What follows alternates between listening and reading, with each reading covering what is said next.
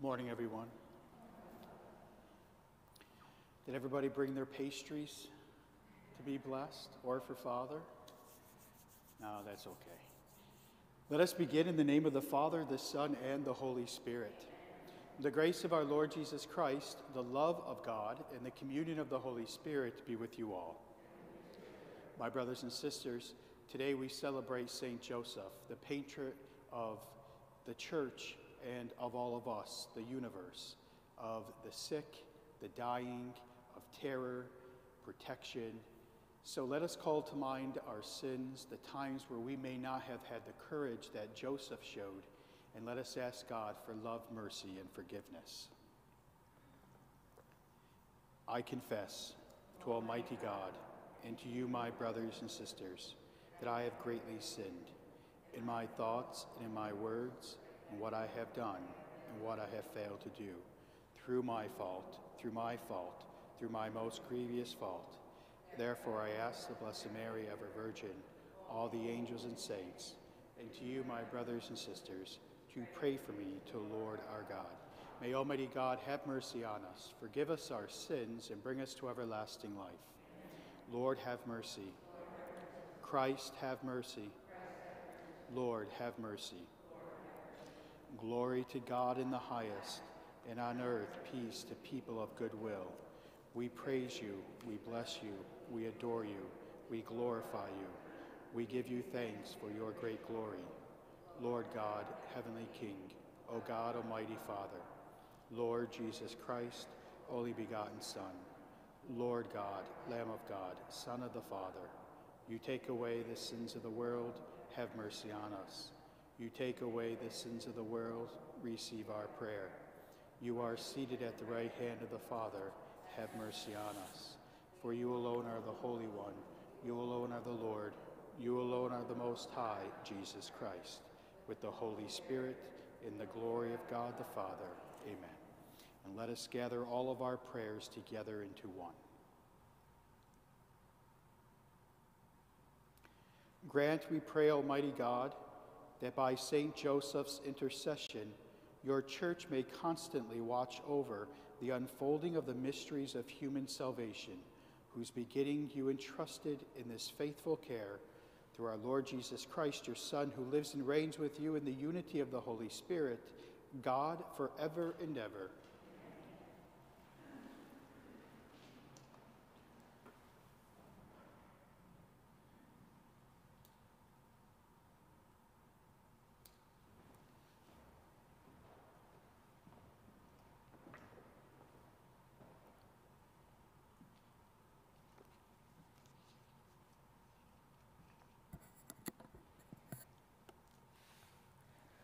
A reading from the second book of Samuel.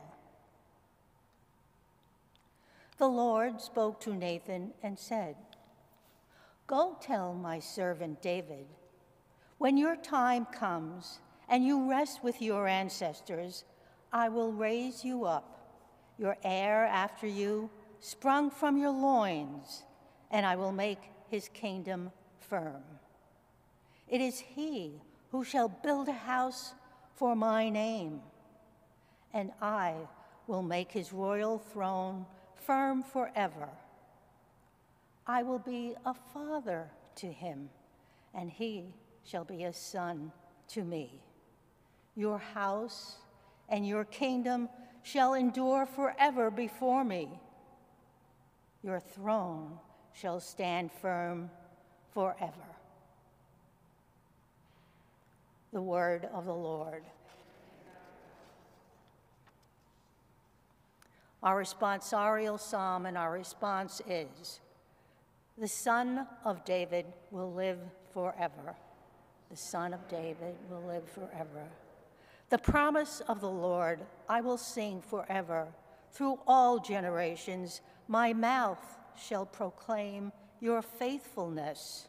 For you have said, my kindness is established forever. In heaven, you have confirmed your faithfulness. The Son of David will live forever. I have made a covenant with my chosen one. I have sworn to David, my servant. Forever will I confirm your posterity and establish your throne for all generations. The Son of David will live forever. He shall say to me, You are my Father, my God, the rock, my Savior. Forever I will maintain my kindness toward him, and my covenant with him stands firm. The Son of David will live forever. The second reading is from the letter of St. Paul to the Romans. Brothers and sisters, it was not through the law that the promise was made to Abraham and his descendants that he would inherit the world, but through the righteousness that comes from faith. For this reason, it depends on faith, so that it may be a gift, and the promise may be guaranteed to all his descendants, not to those who only adhere to the law, but to those who follow the faith of Abraham, who is the father of all of us, as it is written. I have made you father of many nations. He is our Father in the sight of God, in whom he believed, who gives life to the dead and calls into being what does not exist. He believed, hoping against hope, that he would become the father of many nations according to what was said Thou shall your descendants be. That is why it was credited to him as righteousness. The word of the Lord. The verse before the gospel. Praise and honor to you, Lord Jesus Christ. Praise and honor to you, Lord Jesus Christ. Blessed are those who dwell in your house, O Lord. They never cease to praise you. Praise and honor to you, Lord Jesus Christ.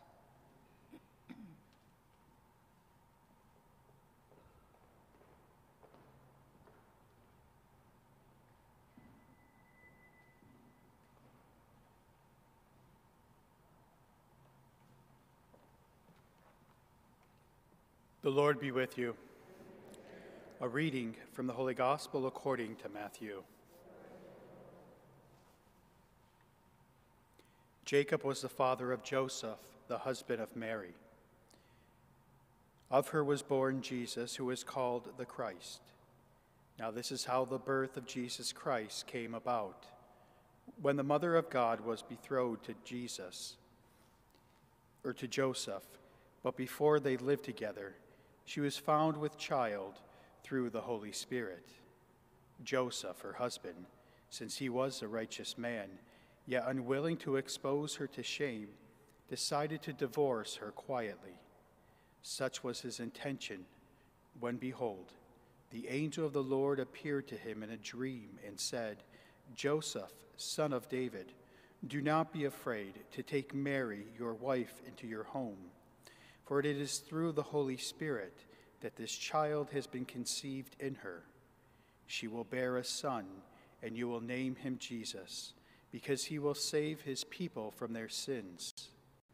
When Joseph awoke, he did as the angel of the Lord had commanded him, and took his wife into his home. The Gospel of the Lord.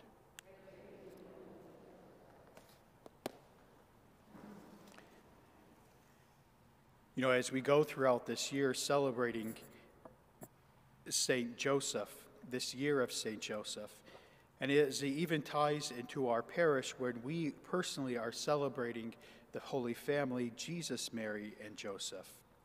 We are reminded in this beautiful gospel passage from Matthew that Joseph heard the voice of God. God asked him to take Mary to care for her to care for her son and to protect her. Some of people may ask, well, why was this so important that Joseph take Mary?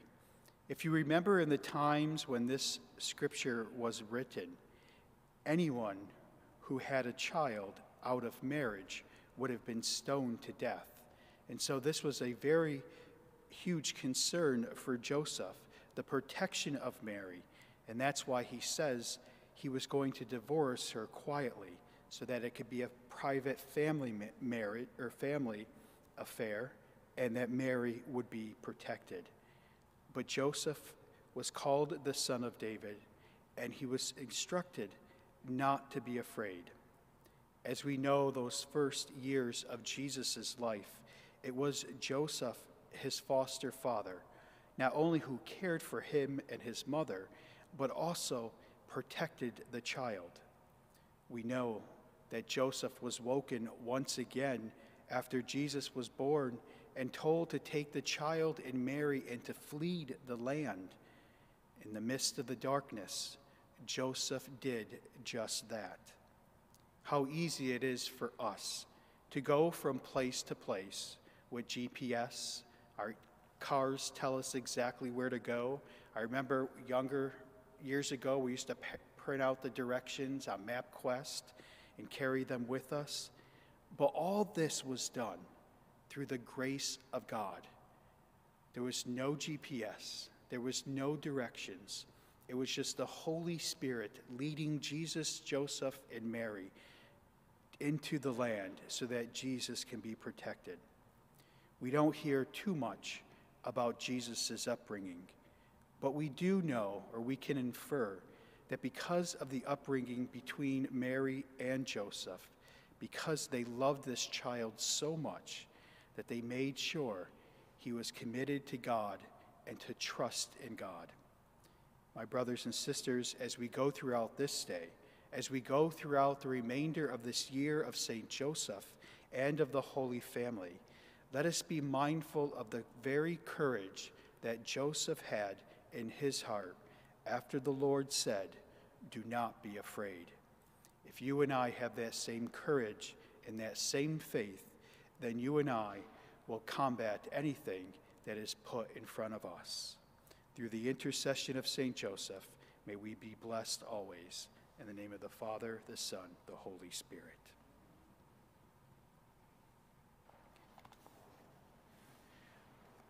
Joseph is the model of humble and one of obedient faith.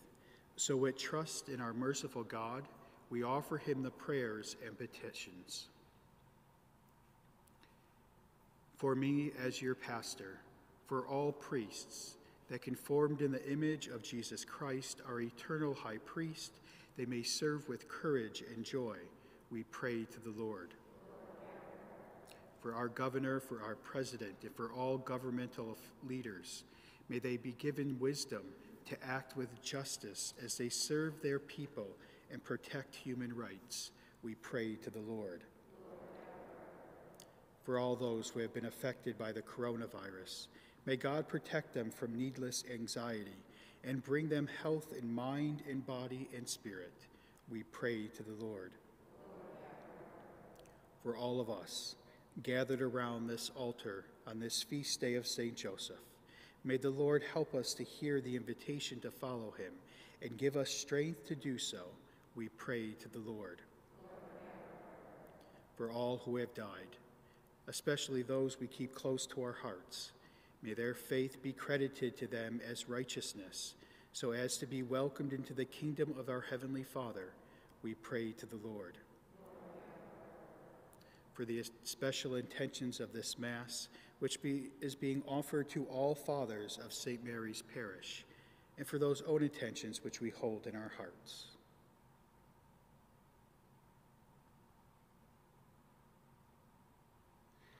We pray to the Lord. God our Father, we bring you these prayers today, confident in your plans to bring good to us and in our world. Hear and answer them, and we ask this through Christ our Lord.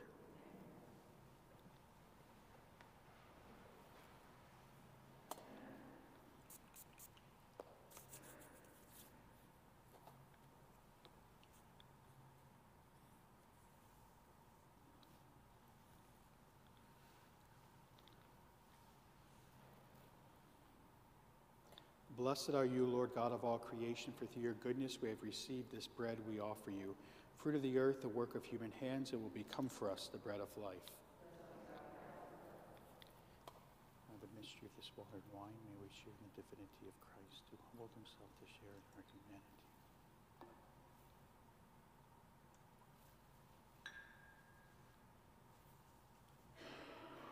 Blessed are you, Lord God of all creation, for through your goodness we have received this wine we offer you, fruit of the vine and work of human hands, that will become for us our spiritual drink.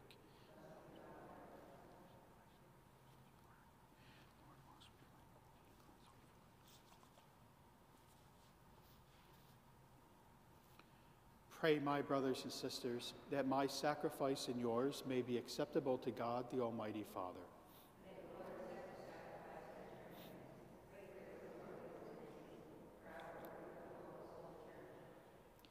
We pray, O Lord, that just as St. Joseph served your loving, with loving care for your only begotten Son, born of the Virgin Mary, so we may be worthy to minister with a pure heart at your altar through Christ our Lord. The Lord be with you. Lift up your hearts. Let us give thanks to the Lord our God.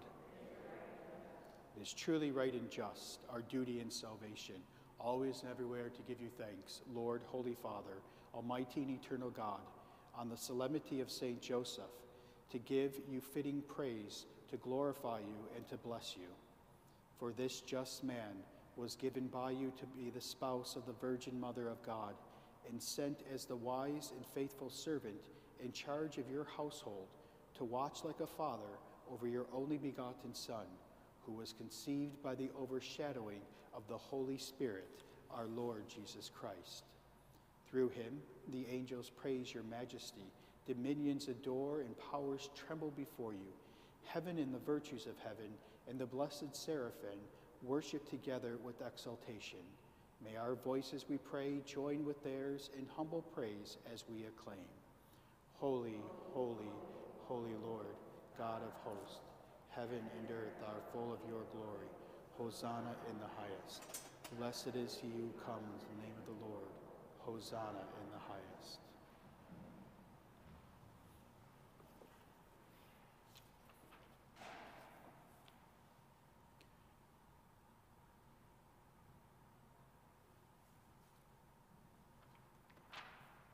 You are indeed holy, O Lord, the font of all holiness. Make holy, therefore, these gifts, we pray, by setting down your Spirit upon them like the dewfall, that they may become for us the body and blood of your Son, our Lord Jesus Christ. At the time he was betrayed and entered willingly into his passion, he took bread and giving thanks broke it and gave it to his disciples, saying, Take this, all of you, and eat of it, for this is my body, which will be given up for you.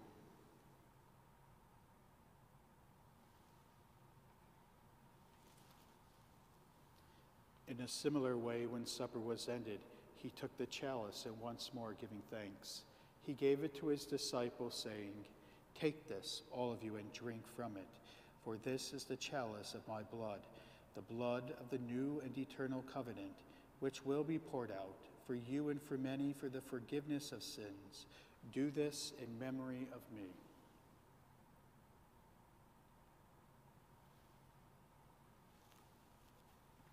The mystery of faith.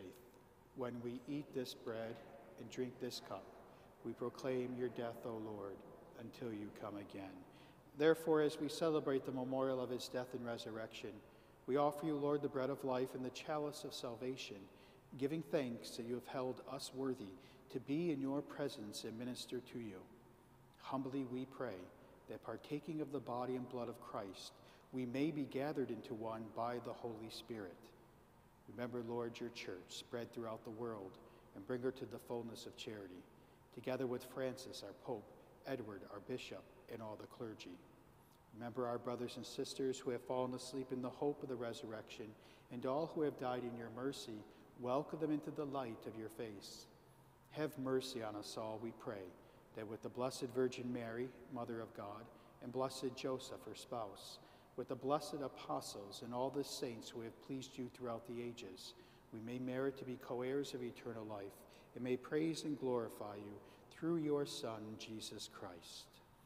Through him and with him and in him, O God, Almighty Father, in the unity of the Holy Spirit, all glory and honor is yours forever and ever. Amen. Our Savior's command, formed by divine teaching, we dare to pray. Our Father, who art in heaven, hallowed be thy name. Thy kingdom come, thy will be done, on earth as it is in heaven. Give us this day our daily bread, and forgive us our trespasses, as we forgive those who trespass against us. Lead us not into temptation, but deliver us from evil. Deliver us, Lord, we pray, from every evil. Graciously grant peace in our days, that by the help of your mercy we may be always free from sin and safe from all distress, as we await the blessed hope and the coming of our Savior, Jesus Christ.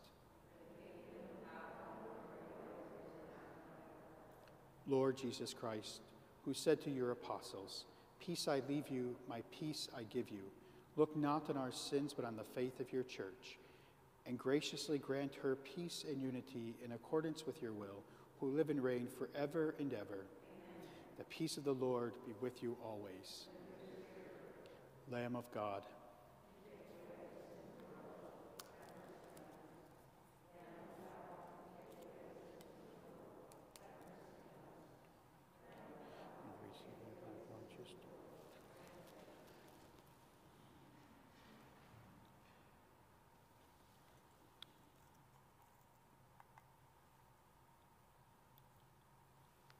Behold the Lamb of God. Behold him who takes away the sins of the world. Blessed are those called to the supper of the Lamb. Lord, I am not worthy that you should enter under my roof, but only say the word, and my soul shall be healed, and the body of Christ can be saved for eternal life.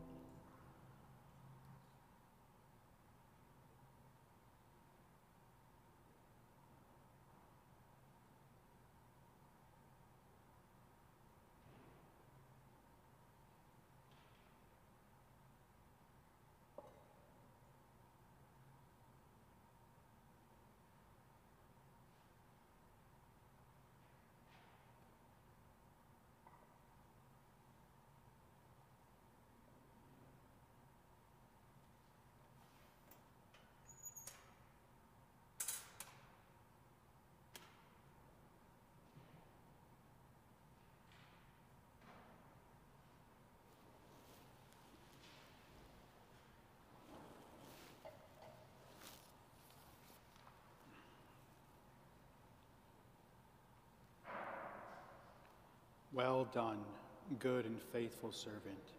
Come share your master's joy.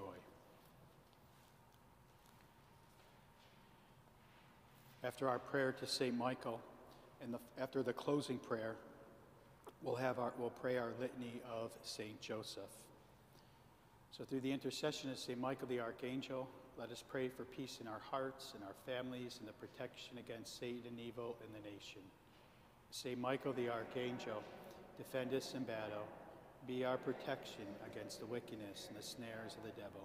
May God rebuke him, we humbly pray.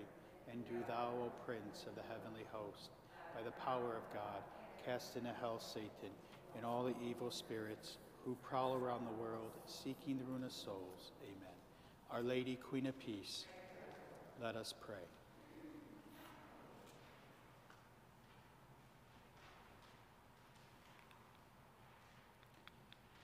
Defend your unfailing protection, O Lord, we pray.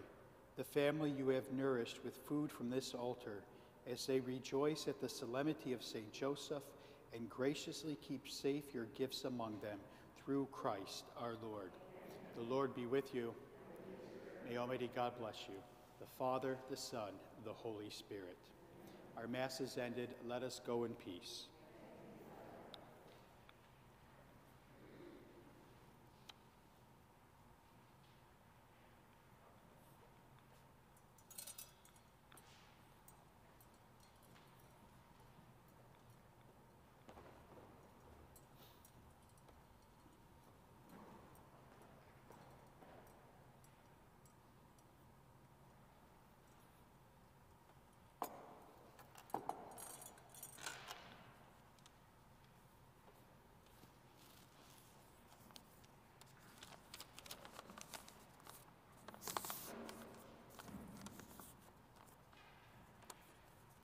Lord, have mercy. Christ, have mercy. Lord, have mercy. Christ, hear us. God, the Father of heaven. God, the Son, Redeemer of the world. God, the Holy Spirit. Holy Trinity, one God. Holy Mary. Saint Joseph illustrious Son of David, light of the patriarchs, spouse of the Mother of God, chaste guardian of the Virgin, foster father of the Son of God, watcher, defender of Christ, heed of the Holy Family, Joseph most just, Joseph most chaste, Joseph most prudent, Joseph most valiant, Joseph most obedient, Joseph most faithful, mirror of patience, lover of poverty, model of the workman, glory of domestic life, guardian of virgins, pillar of families, solace of the afflicted, hope of the sick, patron of the dying, terror of demons, protector of the Holy Church, Lamb of God who takes away the sins of the world, Lamb of God who takes away the sins of the world, Lamb of God who takes away the sins of the world. He made him the Lord of his household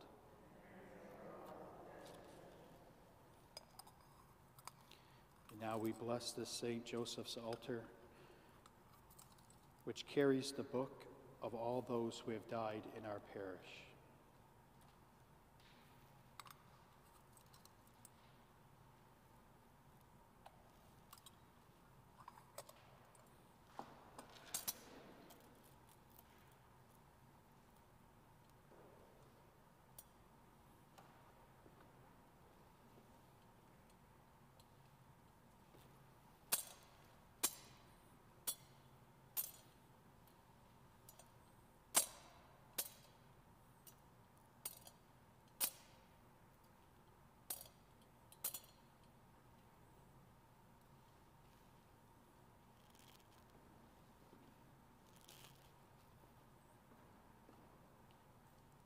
Let us pray.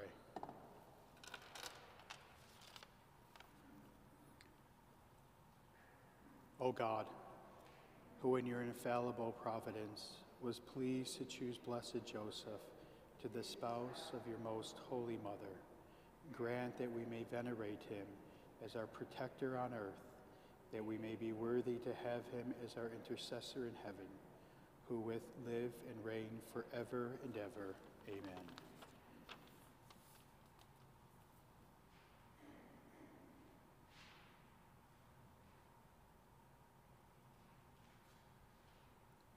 In the name of the Father, the Son, and the Holy Spirit.